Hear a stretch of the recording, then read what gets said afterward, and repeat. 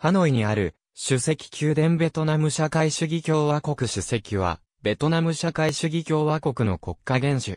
略称は、国家主席。1976年7月2日、ベトナム社会主義共和国の成立に際し、同国の元首として国家主席職が設置された。国家主席を元首とする制度は、同国の前身である、ベトナム民主共和国の1946年憲法を継承したものである。初代国家主席には、ベトナム民主共和国主席のトンドゥックタンが就任した。しかし、1980年の憲法改正では、ソビエト型制度を採用、国家主席職を廃止して、国会の常設機関である国家評議会を設置し、これを集団的な国家主席と規定した。現行の1992年憲法制定により、国家主席職が復活した。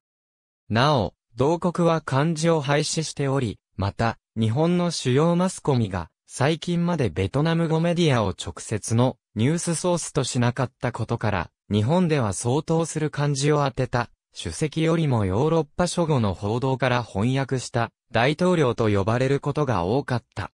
国会議員の中から国会が選出する。任期は5年。なお、任期満了後も国会が次の国家主席を選出するまでその職務を遂行する。国家主席が長期間にわたり職務遂行不能の際には国家副主席が国家主席の職務を代行する。国家主席が任期途中で欠けた場合、国会が新国家主席を選出するまで、国家副主席が国家主席代行となる。国家主席は、元首として、ベトナム社会主義共和国を代表するが、同国は、ベトナム共産党による一党独裁体制のため、共産党の党首である、書記長が事実上の同国の最高指導者となる。書記長は、国家主席を兼任しないことが慣例となっているため、ベトナムの国家主席は、支配政党の党首が兼任する、中華人民共和国やラオス人民民主共和国、近日清時代の朝鮮民主主義人民共和国の国家主席と異なり、名目的、儀礼的な役割を果たすことが多い。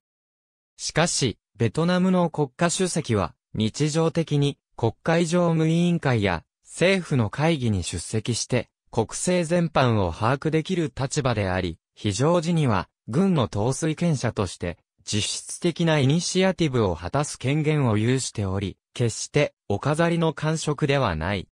国家主席は、その職務について国会に対して責任を負い、報告する義務を有する。現行憲法における国家主席の職権は以下の通り。憲法、法律、布告を交付する。軍を統括し、国防安全保障評議会の議長を務める。国家副主席、首相、最高人民裁判所長官、最高人民検察委員長の任命を国会に提案する。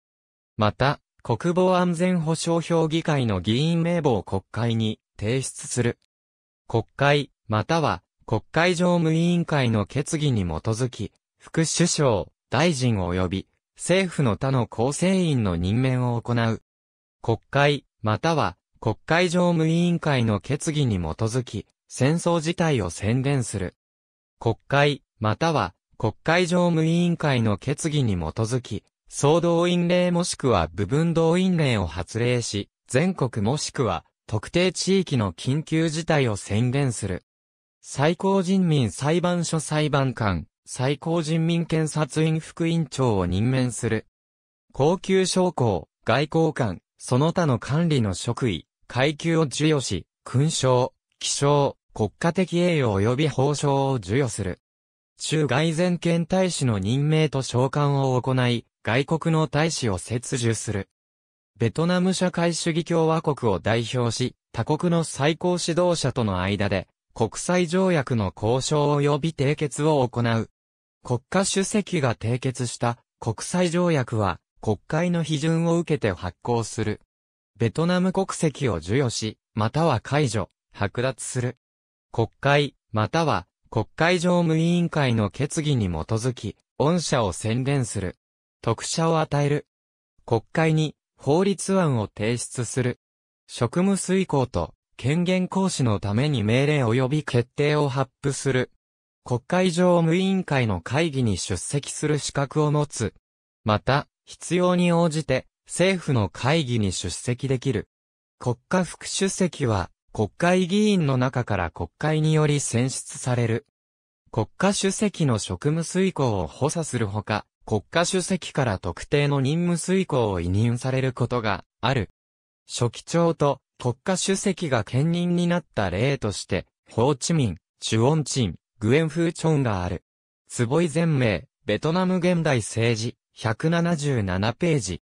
国防安全保障評議会は、国家主席、国家副主席、国防安全保障評議会議員で構成される。国防安全保障評議会議員は、国会議員である必要はない。国防安全保障評議会は、国防のために、国のすべての軍事力と潜在力を動員する。戦時において、国会は、国防安全保障評議会に、特定の任務及び権限を委任する。